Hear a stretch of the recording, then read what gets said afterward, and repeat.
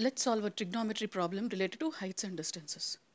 The problem states that there is a person at the top of a tower and the height of the tower is 75 feet and from there he observes a vertical pole and the angles of depression from the tower to the top and bottom of the pole are 30 degree and 60 degree respectively.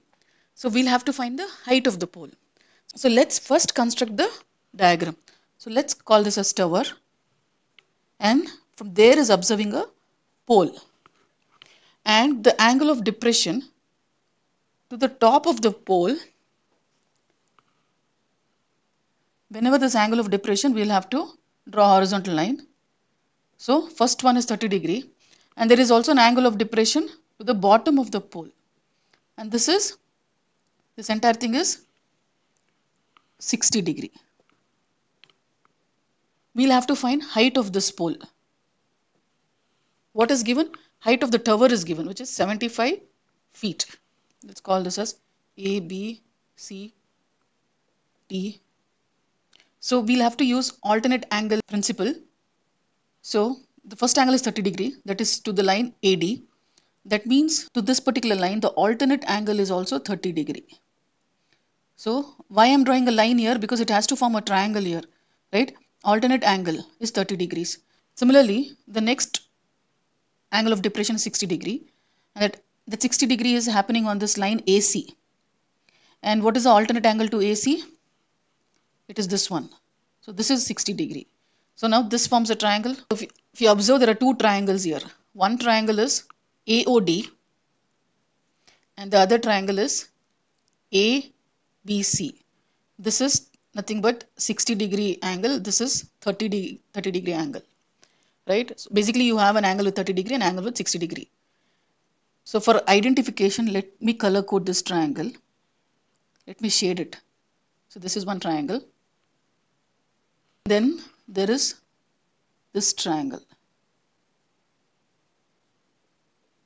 First let's take any one of the triangles. Let's take ACB or ABC let's take triangle ABC in ABC we have 60 degrees here.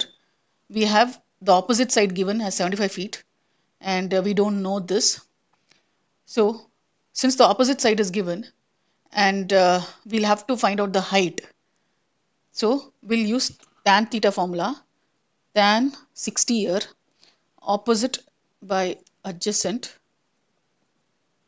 Opposite is AB by adjacent is BC AB is 75 feet BC let's call this BC as X.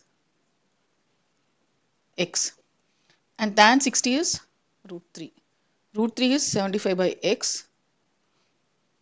So X becomes let's shift it the other, other side. It will be 75 by root 3 so let's call this as equation 1 now let's take triangle AOD in this what is the angle that we have? AOD angle is 30 degree.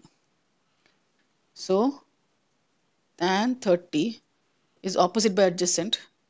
What is opposite for ADO it is AO by OD now OD is going to be same as BC in length because this is nothing but a rectangle and the opposite sides are equal. So OD is X. Now what is AO DC is H so that means OB is also going to be H because it's opposite side. Now if OB is H then what is AO? It's going to be 75 minus H because the entire height is 75. This portion is H. So what is this portion? AO. It's going to be 75 minus H. So this is going to be 75 minus H.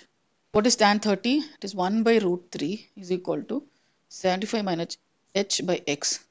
So this will give, I'll shift X on the other side. I'll get x by root 3 is 75 minus h or I'll get x is equal to root 3 into 75 minus h. Let's call this as equation 2. Now from 1 and 2, x that is BC and OD are same. LHs are same which means RHs also have to be equal.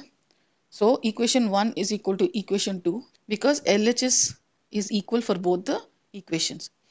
So what will happen? 75 by root 3 is equal to root 3 into 75 minus h. Now from this expression, we can find out h and that will be the height of the pole.